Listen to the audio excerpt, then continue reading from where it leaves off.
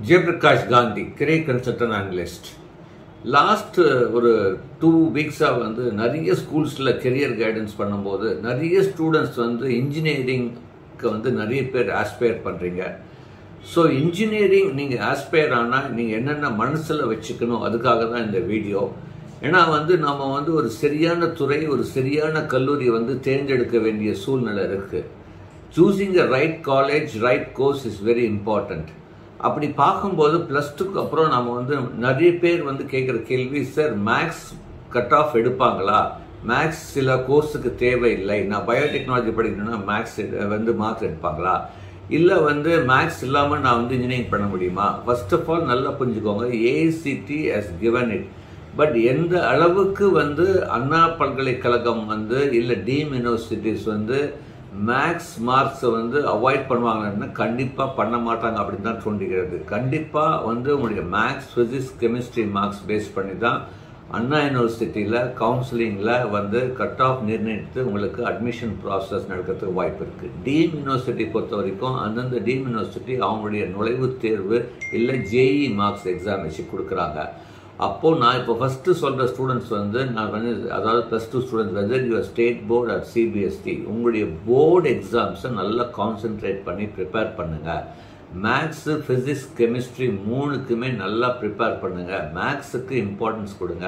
ஏன்னா cut off வந்து maths நூறு ஃபிசிக்ஸ் ஐம்பது கெமிஸ்ட்ரி ஐம்பது டூ ஹண்ட்ரட் ஃபார் நம்மளுடைய அண்ணா யூனிவர்சிட்டி கீழே அஃபிலியேட்டட் அண்டு கான்ஸ்டியூன் காலேஜஸ்க்கு டீம் யூனிவர்சிட்டிஸ்க்கு வந்து they have their own entrance அதுலேயும் வந்து they have maths physics chemistry so you need to really prepare well this three major subjects இப்போ வந்து if you want to get into engineering அடுத்தது வந்து நம்ம கல்லூரி என்ன கல்லூரி அப்படின்னா நல்ல கல்லூரியை தேர்ந்தெடுக்கணும். Whether it's a deemed university or affiliated or constitution colleges அப்படின்னு பார்க்கும்போது எந்த கல்லூரியில் வந்து சிலபஸை தாண்டி சொல்லித்தராங்க எந்த கல்லூரியில் சென்டர் ஆஃப் எக்ஸலன்ஸ் நிறைய இருக்குது எந்த கல்லூரியில் வந்து உங்களுக்கு வந்து ஒரு கம்பெனி எதிர்பார்க்குற திறமைகளை வளர்த்துக்கிறதுக்கான முயற்சிகள் செய்கிறாங்க எந்த கல்லூரியில் வந்து நீங்கள் பார்த்தீங்கன்னா வந்து இந்த காம்படிஷன் சேலஞ்சஸ்க்கு முக்கியத்துவம் கொடுத்து அதுக்கு தயார் பண்ணுறாங்க ஏன்னா ஃப்யூச்சரில் நீங்கள் ரெண்டாயிரத்தி இருபத்தி ஆறில் வெளியே வரும்போது எழுபது சதவிகிதம் பிளேஸ்மெண்ட் வந்து will be only through competition and challenges ஆனால் நம்ம படிக்கிறது ஆல்மோஸ்ட் கெட்டிங் அவுடேட்டட்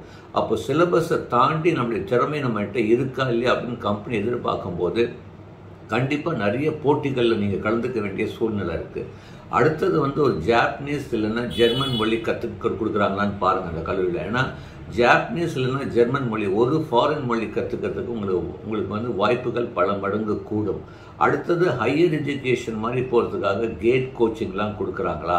அதுவும் பாருங்கள் ஹவு இண்டஸ்ட்ரி இன்ஸ்டியூஷன் இன்ட்ராக்ஷன்ஸ் இருக்குன்னு பாருங்கள் எம்பிஏ நேக் அக்ரிடேஷன் இருக்கான்னு பாருங்கள் top companies like TCS Infosys Wipro Accenture இந்த மாதிரி கம்பெனிஸ் வந்து அக்ரிடேட் பண்ணியிருக்காங்கன்னு பாருங்கள் ஸோ இந்த மாதிரி நிறைய விஷயங்கள் நீங்கள் வந்து அதை எடுத்து தான் நீங்கள் வந்து ஒரு கல்லூரியை தேர்ந்தெடுக்க வேண்டிய சூழ்நிலை இருக்குது சிட்டியில் வந்து ஒரு அட்வான்டேஜ் இருக்கான்னு கேட்டிங்கன்னா இருக்கலாம். There will be a slight advantage but இருந்தாலும் வந்து even some of the semi rural urban side colleges are doing very well extremely even வந்து நீங்கள் பார்த்தீங்கன்னா they have very good system to teach beyond syllabus so எந்த கல்லூரியில் நல்லா சொல்லித்தராங்க company எதிர்பார்க்குற திறமையை நம்மளை வளர்த்து விட்றாங்களோ அதுதான் வந்து சூப்பர் கல்லூரி அப்படின்னு சொல்வேன் கோர்ஸை பொறுத்த வரைக்கும் இனிமேல் வந்து கம்ப்யூட்டர் சயின்ஸு ஐடிக்கு தான் முக்கியத்துவம் அப்படின்னு கிடையாது. எந்த ஒரு சர்க்கியூட் பிரான்ச்சும் நீங்கள் எடுக்கலாம். கம்ப்யூட்டர் சயின்ஸ் ஐடி இசி சிவிலி இல்லை கம்ப்யூட்டர் சார்ந்த படிப்புகள் computer science artificial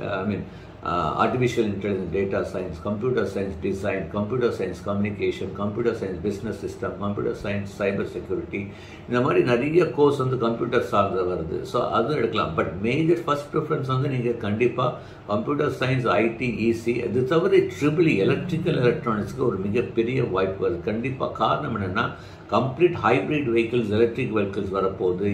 renewable energy wind எனர்ஜியில் மிகப்பெரிய க்ரோத் இருக்க போகுது.